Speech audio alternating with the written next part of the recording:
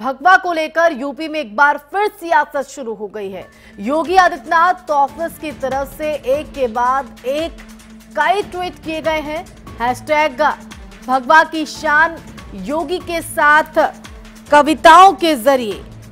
एक के बाद एक ट्वीट करते हुए, क्योंकि एक बार फिर से भगवा का जो रंग है वो यूपी में सियासत पर चढ़ता हुआ दिखाई दे रहा है तो राजनीति के सौदागरों को चुनौती है भगवा।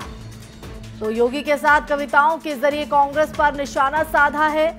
कांग्रेस के लिए व्यापार है भगवा। हमारी, हमारे योगी जी का प्यार है भगवा।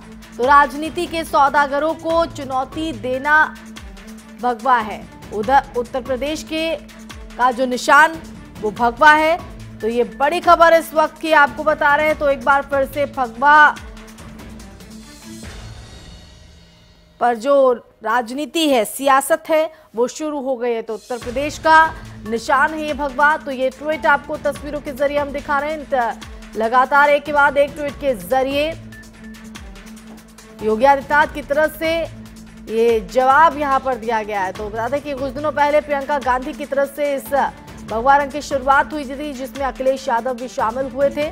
और अब उसका जवाब देते हुए राजनीति के सौदागरों को चुनौती है भगवा, उत्तर प्रदेश का निशान है भगवा। तो राजनीति के सौदागरों को चुनौती, उत्तर प्रदेश का निशान भगवा तो भगवा को लेकर एक बार फिर से यूपी में सियासत जो है, वो गर्माती हुई नज़र आ रही है। भगवा की शान, योगी जी के साथ कई कविताएँ पोस्ट की गई हैं। कांग्रेस के लिए व्यापार है भगवा, लेकिन सीएम योगी के लिए प्यार है भगवा।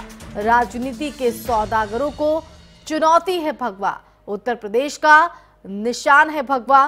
तो लगातार एक के बाद एक ट्वीट के ज़रिए जवाब विरोधी दल को।